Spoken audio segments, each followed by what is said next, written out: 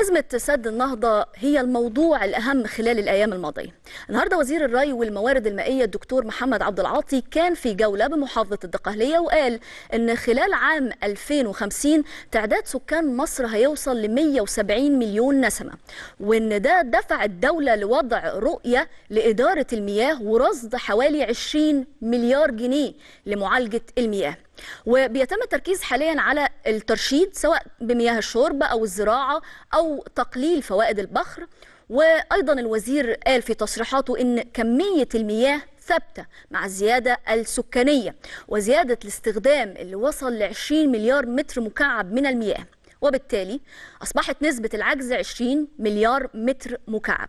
وأكد أيضا إن عملية ملء سد النهضة لن تبدأ هذا العام وبيتم العمل حاليا على إعادة استخدام مياه الصرف الزراعي الصالحة لسد العجز. ده بالإضافة طبعا لضرورة الالتزام بالمساحات المقررة لزراعة الأرز باعتباره من المحاصيل المستهلكة للمياه.